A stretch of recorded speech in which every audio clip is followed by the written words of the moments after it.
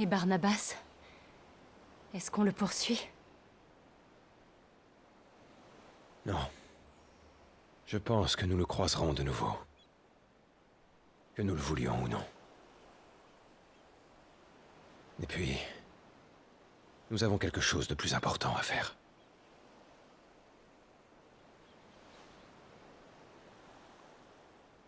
Je sais. Eshin Drak. Détruire le dernier cristal. L'Aineriar a sombré corps et bien. Valeud n'osera jamais attaquer sans lui. Mais c'est sûr qu'ils vont nous attendre. Réfléchissons. Et essayons de faire le point. Alors rentrons chez nous, au repère. Pour mieux revenir ici.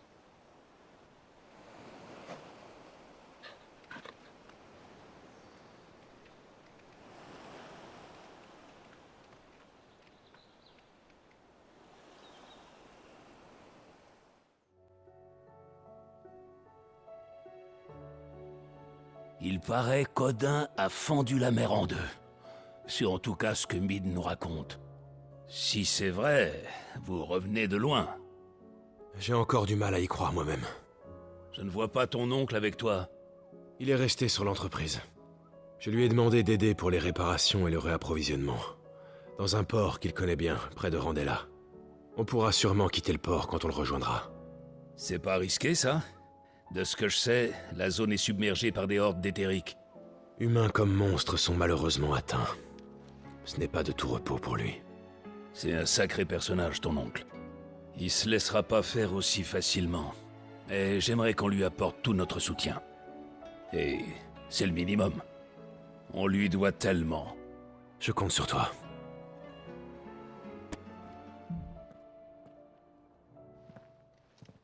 Comment tu te sens, Joshua? Je me sens bien mieux. Il ne faut pas non plus t'imaginer guéri. Tes blessures ont disparu, d'accord? Mais ton corps est encore bien loin d'avoir récupéré toutes ses forces. Je n'avais pas le choix.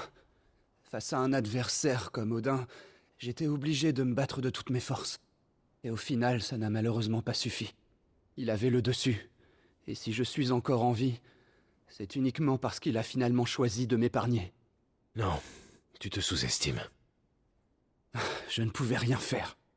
Odin et moi, nous avons beau être tous les deux des émissaires, la différence est flagrante. Je suis désolé, Clive. Je dois me ressaisir. Nous sommes dans une situation d'urgence. Alors que nous parlons, le nombre de victimes augmente. Aussi... Je suis sûr que Dion n'a pas renoncé.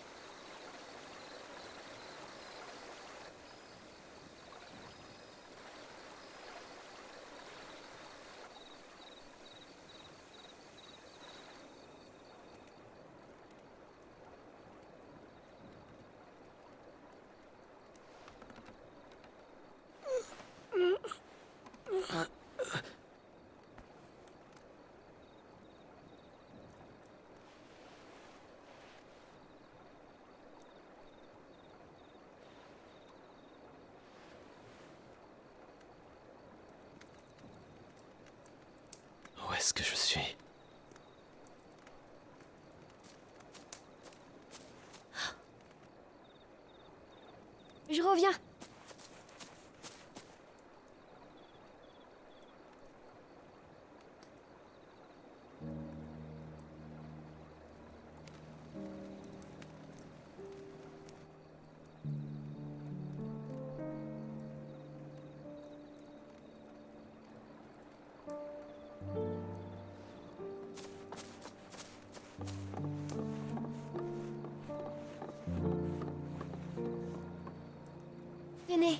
devez avoir soif.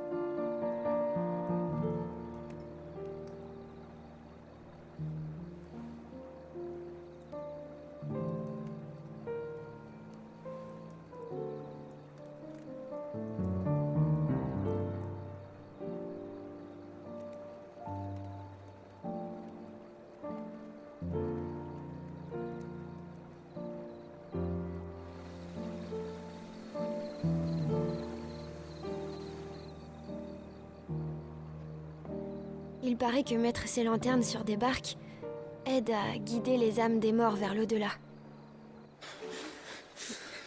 Ma grand-mère disait ça quand elle était encore là.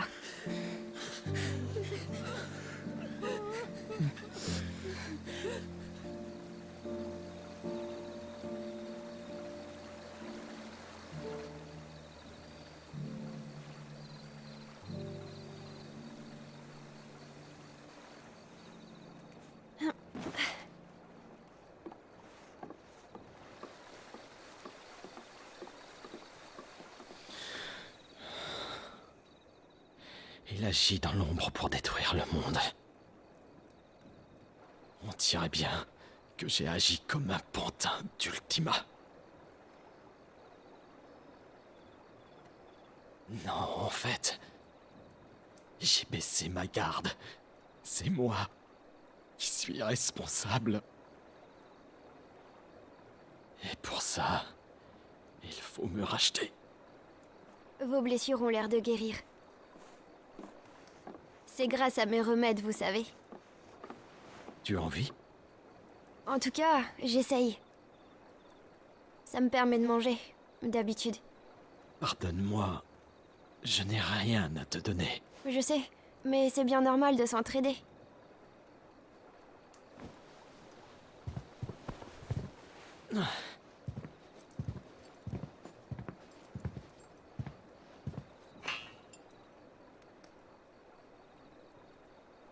Vous partez déjà?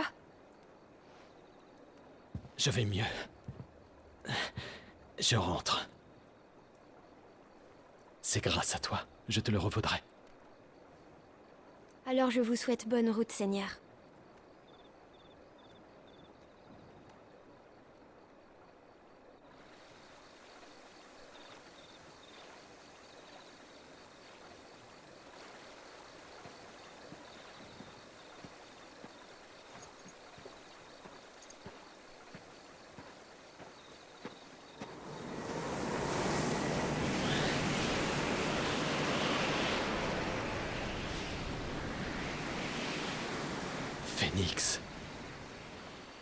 Bien que je te dois une fière chandelle.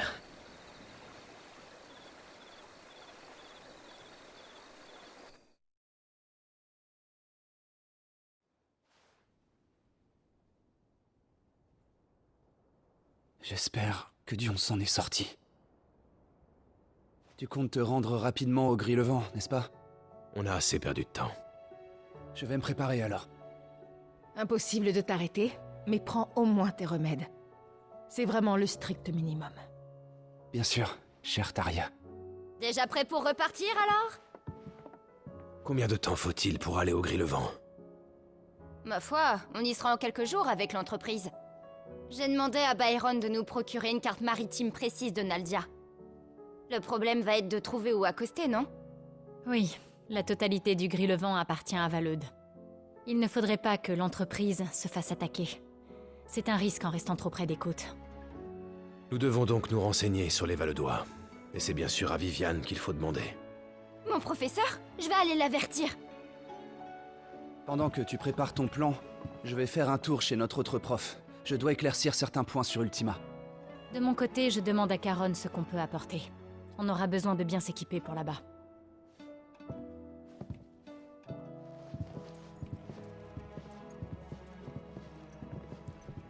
Tu sais, ton frère va finir par atteindre ses limites à ce rythme. Ménage-le, s'il te plaît. Je sais. Oh, Clive. Je me doutais que tu allais passer. Dis-moi que tu es venu me débarrasser de ta petite protégée. Je ne suis pas là pour Mid. Je veux en savoir plus sur Valeude. Ne me dis pas que toi aussi tu es venu pour me parler de ça. D'accord. Dès que l'entreprise est prête à partir, direction le Gris-le-Vent et Shindrak. On a besoin de connaître la situation du pays. J'aimerais éviter que l'entreprise se fasse exploser par les Valedois. J'en ai déjà parlé, mais les activités de ce pays restent un mystère total pour le reste du monde. On ne sait que peu de choses sur le Gris-le-Vent, et nos informations ne sont pas toutes récentes. Il faut dire que depuis la fondation de Valeude, la région n'a pour ainsi dire plus de relations diplomatiques avec l'extérieur. Nous n'avons donc aucun moyen de savoir quelles sont les côtes les moins gardées. Nous ne pouvons nous en remettre qu'à toi. Tu es de loin la plus savante. Oh, grand professeur D'accord, d'accord. Je vais voir ce que je peux trouver. Voici donc un cours spécial sur Valeude, juste pour vous.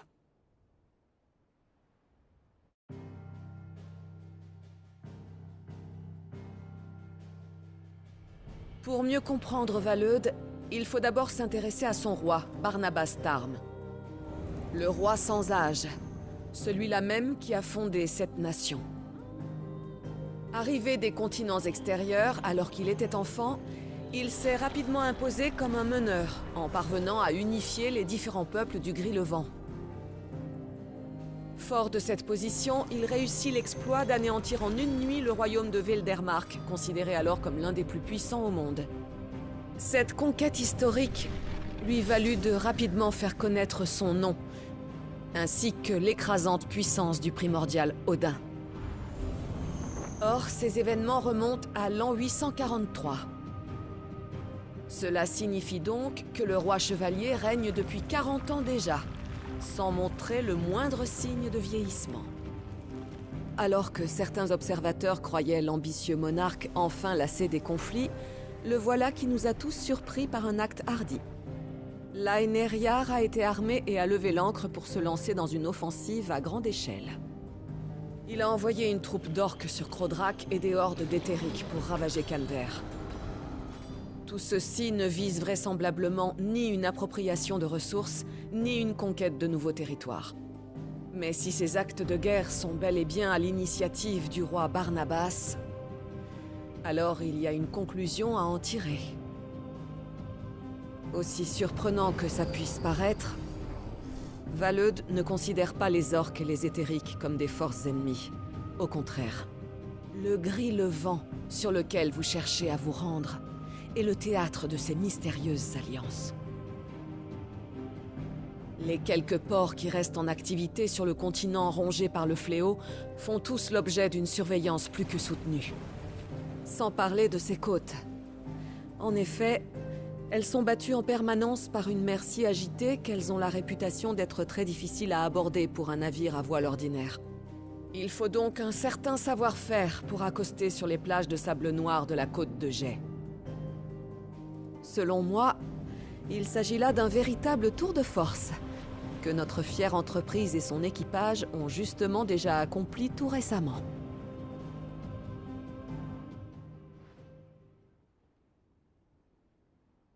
Tu vois, Clive, tu connaissais déjà la réponse. Tu penses pouvoir nous ramener jusqu'à cette plage, Mid? J'ai bien réussi une fois, non? Et c'était pas facile, avec tous ces courants capricieux. Mais bon, c'est pas trois misérables vagues qui vont m'arrêter, tu me connais. Bien dit. Merci, chère Viviane. Je compte sur vous pour me faire parvenir vos retours sur le gris-le-vent pour le bien de mes recherches. Considérez ça comme une forme de paiement pour secours. Nous le ferons sans faute. Mid, j'ai besoin que tu rassembles tout le monde dans le réfectoire. Je vais chercher Joshua chez le prof. Compris, capitaine Clive, tu arrives au bon moment. Harpocrate, dis-lui. Tu te souviens quand nous avions assimilé Ultima à une divinité? Eh bien, j'ai fait mes recherches dans plusieurs types de religions. Et ce que j'ai découvert s'aligne avec les suspicions de Joshua. Tu n'as pas oublié que je menais des recherches sur les origines d'Ultima basées sur la fresque du Sacrarium au Fort Phoenix. Je n'ai jamais pu savoir dans quel contexte elle avait été créée, ni pourquoi. Mais maintenant, tout devient beaucoup plus clair grâce aux trouvailles de Harpocrate. Nous nous approchons enfin du but. Dis-moi, Clive, as-tu déjà entendu parler au cours de tes voyages du cercle de Mallius Cela m'étonnerait cependant. Mais il fut un temps où cette religion, la plus ancienne connue, était florissante. Elle s'étendait sur la totalité de Valistea. Elle est également à l'origine de la doctrine christodoxe que l'on trouve au Royaume de Fer. Attends, surtout Valistea, au gris-le-vent. J'ai entendu dire qu'il y avait encore des restes de vieux châteaux et de fortifications un peu partout au Gris-le-Vent. Et Je pense que ce ne serait pas totalement impossible qu'on puisse encore trouver certaines fresques dans ce genre d'endroit. Et donc, j'ai désormais une bonne raison pour t'accompagner à Valeude. Notre passé a encore tellement à nous dévoiler. Nous devons aussi beaucoup aux écrits de mon respecté professeur Morse. Dire que Joshua détenait un exemplaire de ses chroniques perdues pendant tout ce temps. Je te demanderai d'en prendre grand soin. Comme à la prunelle de mes yeux. Joshua, rejoins-moi dans le réfectoire quand tu auras fini. Je dois annoncer la suite des événements aux autres. C'est compris.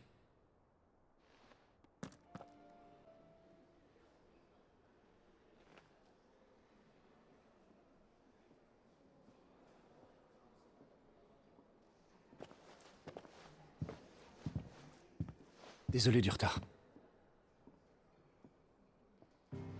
L'heure est venue de partir pour Steinir. L'objectif est bien sûr de détruire Eshindrak, le tout dernier cristal mère. Nous débarquerons sur la côte de Jay, où il y a moins de chances de se faire repérer, pour nous diriger vers la capitale. Nous aurons donc à nous déplacer à pied dans un territoire inconnu.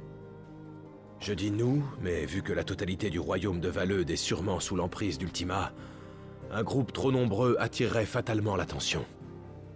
Et potentiellement nous ralentirait aussi, sans parler du peu de ressources là-bas.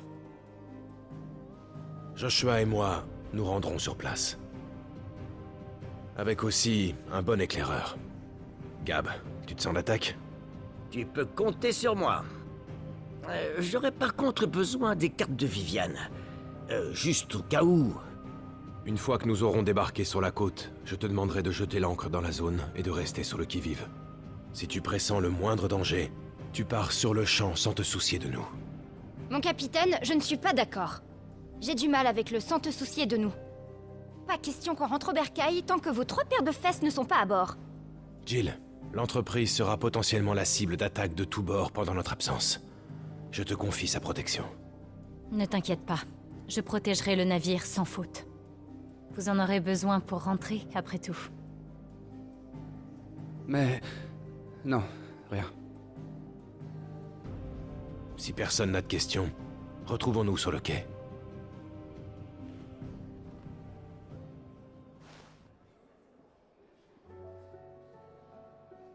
Fais-moi signe quand vous partez. J'ai deux, trois choses à te dire. D'accord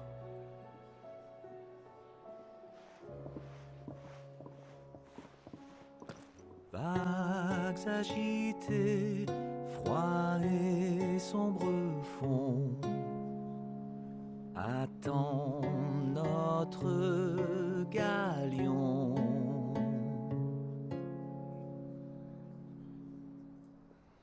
Mais ressens-tu cette chaleur?